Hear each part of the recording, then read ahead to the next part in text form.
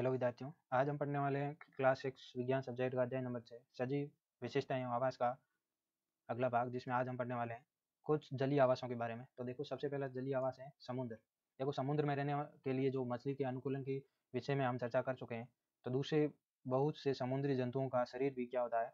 धारा रेखीय होता है, जिससे वह जल में क्या है? सुगमता से चल सकता है।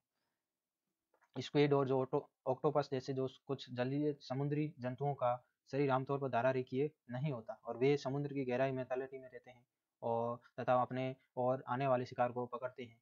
जब वे जल में तैरते हैं तो अपने शरीर को धारा रेखीय बना लेते हैं। जल में श्वास लेने के लिए उनमें गिल क्लोम होते हैं।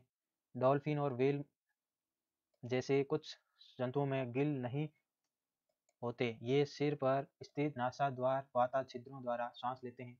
जल में लंबे समय तक बिना श्वास लिए रह सकते हैं। वे समय समय पर समुद्री सतह जल से बाहर आकर आकर श्वसन छिद्रों से जल बाहर निकालते हैं एवं सांस द्वारा स्वच्छ वायु अंदर भरते हैं। क्या आपने कभी दूरदर्शन पर अथवा समुद्री जीव जीवन पर चलचित्र में डॉल्फिन के इस रोचक क्रियाकलाप को देखा है? आप देखो, तालाब एवं झील। क्या आपने तालाब, झील, नदियों एवं नालों में पौधों को उगने देखा है? यदि संभव हो तो समीपवर्ती किसी तालाब के भ्रमण पर जाइए और वहाँ दिखाई देने वाले कुछ पौधों को बाहर निकाल दीजिए। इन पौधों की पत्तियाँ, तने और जड़ों किस प्रकार व्यवस्थित है? तो इनमें से कुछ पौधों की जड़ें क्या है? जलाशय की तलहटी की मिट्टी में स्थिर रहती है और स्थलीय पौधों में जड़ मिट्टी से जल एवं खनिज पोषकों के अवशोषण का महत्वपूर्ण कार्य करती है। परंतु जलीय पौधों में जड़ें आकार में बहुत छोटी होती हैं एवं इसका मुख्य कार्य पौधे को तलहटी में जमाए रखना होता है। इन पौधों का तना लंबा, खोखला एवं हल्का होता है तथा जल की सतह पर वर्ती करता है। जबकि पत्तियाँ एवं फूल जल की सतह पर पलवन करते रहते हैं। कुछ जलीय पौधे जल में पूर्ण रूपेण डूबे रहते हैं। ऐसे पौधों के सभी भाग जल में वृद्धि करते हैं।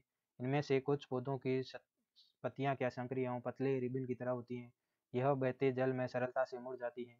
कुछ अन्य जलमग्न पौधों में पत्तियाँ बहुत अधिक विभाजित होती हैं जिससे जल इनके बीच से बहता रहता है और पत्तियों को कोई क्षति भी नहीं होती है। मेढक आमतौर पर तालाब में पाया जाने वाला एक जंतु है, यह तालाब के जल एवं स्थल दोनों पर रह सकता है। इसके पैर जो पाद पच्चे पाद लंबे तथा मज़बूत होते हैं, जो उन्हें छलांग लगाने एवं शिकार पकड़ने में सहायता करते हैं। इनके पक्षपाद में जाल युक्त पादांकुलियाँ होती हैं, जो उन्हें तैरने में सहायता करती हैं। हमने केवल कुछ ही जंतुओं एवं पौधों की चर्चा की है, जबकि विभिन्न आवासों में रहने वाले जीवों की संख्या बहुत अधिक है। अध्याय चार में सुझाए क्रियाकलाप के अंतर्गत जब आप पत्तियों की एल्बम तैयार कर चुके होंगे, तब तक आप पौधों की अनेक प्रजातियों के बारे में जानकारी कर चुके होंगे। कल्पना कीजिए कि यदि हम पृथ्वी के सभी क्षेत्रों में उपलब्ध पौधों की पत्तियों का एल्बम तैयार कर, करें तो उनमें कितनी विविधता होगी? आप देखो, हमारे आसपास के जीव हमने विभिन्न आवास क्षेत्रों की यात्रा की तथा अनेक पौधों एवं जंतुओं की चर्चा की। क्रियाकलाप एक में हमने विभिन्न परिवेश में पाए जाने वाले पौधे वाले जंतुओं, पौधों एवं जंतुओं की सूची बनाई। कल्पना कीजिए कि यदि हम जानना चाहें कि हमारी पृथ्वी में सजीव के कौन से उदाहरण हैं, आइए वन में पाई जाने वाले जंतुओं के विषय में सोचें। वृक्ष आरोही लता, विसर्पी लता और छोटे बड़े जंतु, पक्षी सर्फ कीट चट्टान, पत्थर, मिट्टी जल वायु सूखी पत्तियाँ, मृत जंतु छत्रक एवं कई मांस वन में पाई जाने वाली विभिन्न वस्तुओं के कुछ उदाहरण हैं। इनमें से कौन सजीव है? अपने चारों ओर पाई जाने वाली विभिन्न वस्तुओं के विषय में सोचिए तथा उन्हें निर्जीव एवं सजीव समूहों में बांटिए। कुछ प्रकरणों में हमारे लिए यह आसान होगा। उदाहरणार्थ, हमारे घर की कुछ कुर्सी अथवा मेज जैसी वस्तुएँ सजीव है, नहीं है। पहली एडवर्ड लियर द्वारा रचित कंप्लीट नॉन सेन का यह क्षण पढ़ रही थी। पहली और बुझों को, कविता बहुत मज़ेदार लगी क्योंकि वे जानते थे कि मेज और कुर्सी सजीव नहीं है। अंतर ये ना तो चल सकते हैं और ना बोल सकते हैं। हम जानते हैं कि कुर्सी, मेज पत्थर अथवा एक सिक्का सजीव नहीं है। इसी प्रकार हम जानते हैं कि हम सजीवित हैं और हम, हमारी ही तरह संसार के सभी मनुष्य तथा कुत्ता बिल्ली, बंदर, गिलहरी, कीट जैसे जंतु सभी सजीव हैं।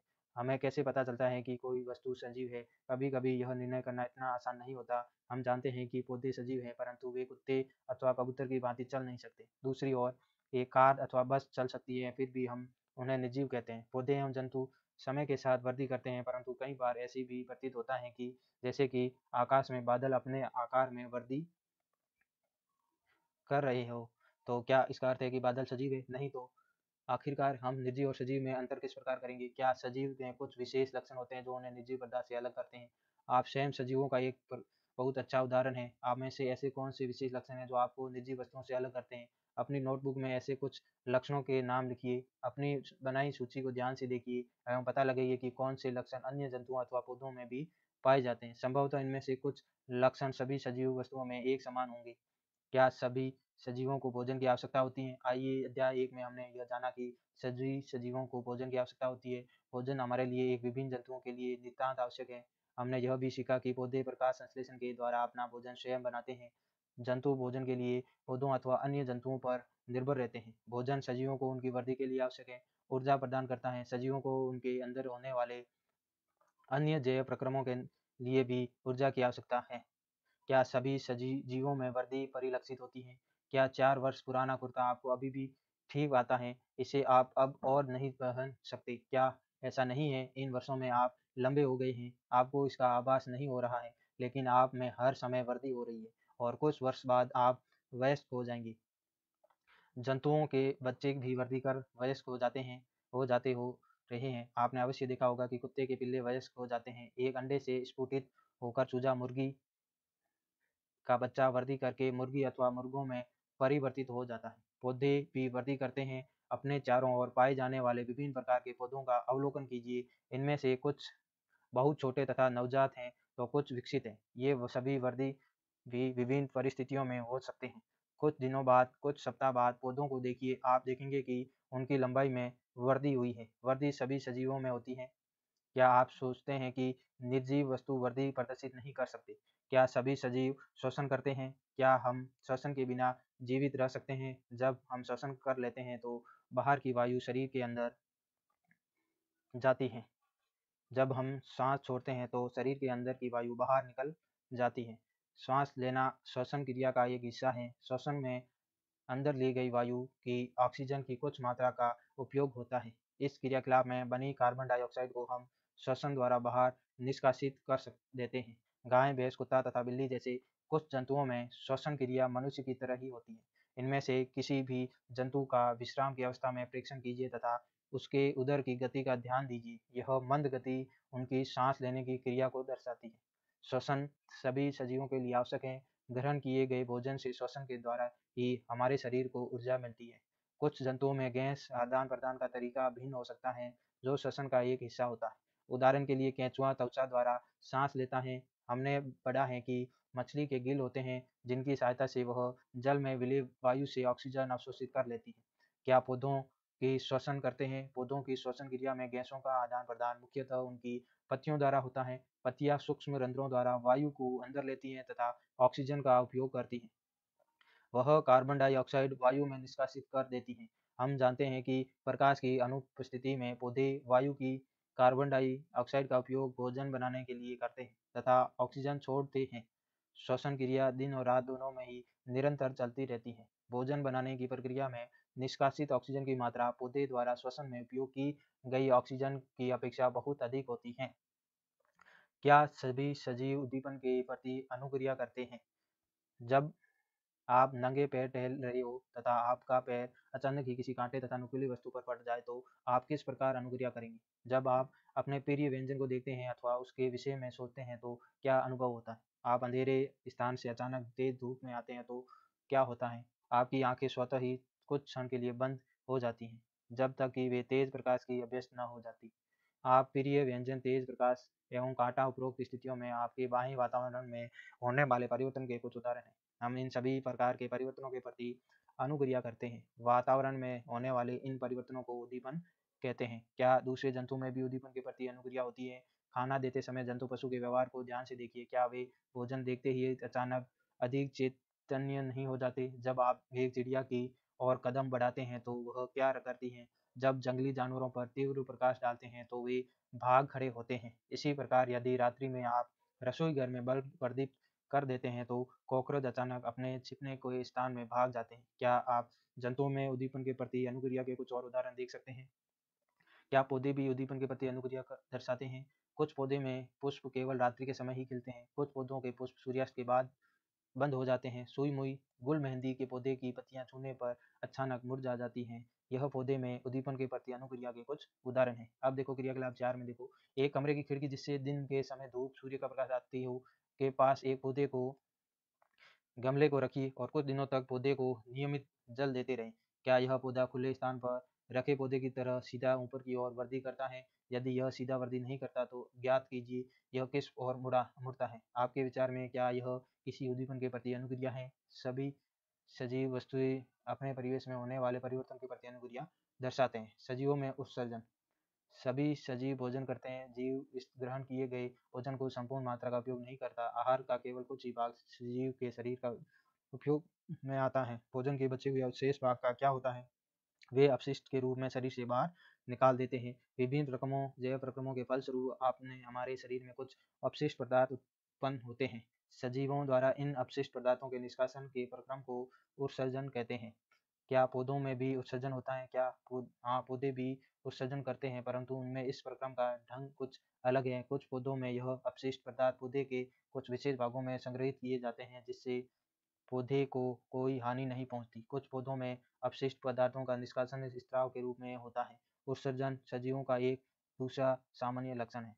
क्या सभी सजीव प्रजनन करते हैं? क्या आपने कभी कबूतर अथवा किसी पक्षी के नीर घोंसले देखे हैं? ये नीर में अंडे देते हैं। कुछ अंडे स्फुटित होते हैं तथा उनसे छोटे छोटे बच्चे बाहर निकल आते हैं। जंतु प्रजनन द्वारा अपने समान संतान उत्पन्न करते हैं। विभिन्न जंतुओं में प्रजनन का ढंग अलग अलग होता है। कुछ जंतु अंडे देते हैं जिसमें शिशु निकलते हैं और कुछ जंतु शिशु को जन्म देते हैं। पौधे भी प्रजनन करते हैं। जंतुओं की तरह पौधों में भी प्रजनन के तरीके भिन्न भिन्न हैं। बहुत से पौधे बीजों द्वारा प्रजनन करते हैं। पौधे बीज उत्पादित करते हैं। हम उन्हें अंकुरित करके नए पौधे उगा सकते हैं। कुछ पौधे बीज के अतिरिक्त अपने कायिक भागों द्वारा भी नए पौधे उत्पन्न करते हैं। उदाहरणार्थ आलू के कली का भाग भाग से नया पौधा बनता है। पौधे कलम द्वारा भी उगाए जाते हैं। क्या आप स्वयं इस विधि द्वारा पौधे उगा सक उगाना चाहेंगे तो इसके लिए देखो क्रियाकलाप पाँच, गुलाब अथवा मेहंदी की धड़ कलम लीजिए इससे मिट्टी में लगाए ये, जिसे नियमित रूप से जल दीजिए। आप कुछ दिनों के बाद क्या देखते हैं? कलम से पौधे बनाना सरल कार्य नहीं है। यदि आपकी कलम में वृद्धि नहीं हुई है तो निराशा ना हो। यदि कलम हो, यदि संभव हो तो एक मालिक से बात करके कलम से पौधे बनने के अंतराल में भी जाने वाली देखभाल की जानकारी प्राप्त कीजिए। सजीव प्रजनन प्रक्रिया द्वारा अपने समान अनेक संतान उत्पन्न करते हैं। विभिन्न जीवों में प्रजनन की विधियाँ भी भिन्न प्रकार की होती हैं। क्या सभी सजीव गति करते हैं? अध्याय पाँच में हमने जंतुओं में गति के विभिन्न तरीकों की चर्चा की थी। वे एक स्थान से दूसरे स्थान तक जाते हैं तथा उनमें, उनके शरीर में अन्य प्रकार की गति भी दिखाई देती है। पौधों के विषय में क्या विचार है? क्या वे भी गति करते हैं? पौधे सामान्यतः भूमि में जकड़ रहते हैं। अंतः वे एक स्थान से दूसरे स्थान तक नहीं जा सकते। वे जंतु विभिन्न प्रकार जैसे की जल, खनिज एवं संश्लेषित खाद्य पदार्थ पौधे के एक भाग से दूसरे में संवहित होते हैं। क्या आपने पौधे के अन्य प्रकार की गति भी देखी है? पुष्प का खिलना एवं बंद होना, क्या ये आपको याद कर सकते हैं कि कुछ पौधे विभिन्न उद्दीपनों के प्रति किस प्रकार अनुक्रिया करते हैं? हम कुछ निजी वस्तुओं को भी गति करते देख सकते हैं। बस, कार, का, कागज़ का छोटा टुकड़ा, बादल अथा अन्य कुछ वस्तुएँ, इसके उदाहरण हैं। क्या इसी गति, सजीवों की गति से किस प्रकार भिन्न है? प्रकृति में विविध प्रकार के जीव हैं, लेकिन उन सभी में कुछ लक्षण एक समान होते हैं, जिसकी हम पहले चर्चा कर चुके हैं। मृत्यु जीवों, सजीवों के लिए एक सामान्य लक्षण है, क्योंकि जीव की मृत्यु होती है, इसलिए जीवों की प्रजातियाँ हज़ारों वर्षों तक सभी, तभी अस्तित्व में रह सकती हैं, जबकि वे प्रजनन कर, अपने समान संतान उत्पन्न करें एक अकेले जीव प्रजनन किए बिना भी मर सकता है, परंतु सजीव की प्रजाति तभी अस्तित्व में रहती है जब उसके सदस्यों में प्रजनन होता रहता है। हमने देखा कि सभी सजीव वस्तुओं में कुछ विशेष लक्षण समान रूप से दिखाई देते हैं। उन सभी को भोजन की आवश्यकता होती है। उनमें श्वसन, उत्सर्जन, उद्दीपन के प्रति अनुक्रिया, प्रजनन, गति एवं वृद्धि होती है तथा मृत्यु होती है। क्या हम ऐसी कुछ निजी वस्तुओं को जानते हैं, जिनमें इन लक्षणों में से कुछ लक्षण दिखाई देते हैं? कार, साइकिल घड़ी एवं नदी का जल गति करते हैं। आकाश में चंद्रमा गति करता है। हमारे देखते देखते एक बादल के आकार में वृद्धि हो जाती है। क्या इन वस्तुओं को सजीव कहा जा सकता है? हमें स्वयं से प्रश्न करना होगा कि क्या इनमें सजीवों के अन्य सभी लक्षण भी पाए जाते हैं? सामान्यतः सजीवों में भी सभी लक्षण पाए जाते हैं, जिनकी हमने चर्चा की है, परंतु निजी वस्तुओं में वे सभी लक्षण एक साथ दिखाई नहीं देते। क्या यह हमेशा सत्य है? क्या हमें सभी सजीवों में वे सभी लक्षण जिनकी हमने चर्चा की हमेशा निश्चित रूप से दिखाई देते हैं? क्या हमें निर्जीवों में वे सभी लक्षण कभी भी एक साथ दिखाई नहीं देते? उनमें से मात्र कुछ लक्षण ही दिखाई देते हैं। इस विषय को और अच्छी तरह प्रकार से समझने के लिए आइए किसी जीव बीज के विषय में विचार करें। कुछ विशिष्ट उदाहरण देखें।